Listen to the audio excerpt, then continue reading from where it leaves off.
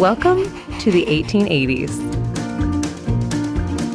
This train has been running through these passes for over a century. There's no cell service up here, no gas stations, and a whole lot of mountains. It's also the highest, the longest, and one of the last authentic steam railroads left in the country. There's probably no better ride with a steam engine than this ride right here.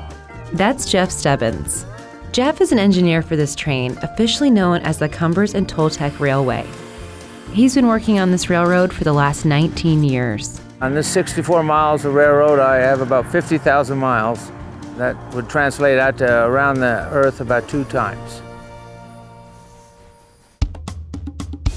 Today's trains are powered by diesel and electricity, but this one keeps it old school by running on coal.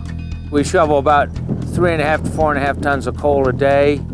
It's dirty work, and back in the 1930s, trains began changing to diesel because it was cheaper and more efficient. The coal powered engines were phased out. This one survived thanks to the people who cared about it and saw its beauty. This 64 miles of uh, railroading through southern Colorado, northern New Mexico, it doesn't get much more beautiful than this.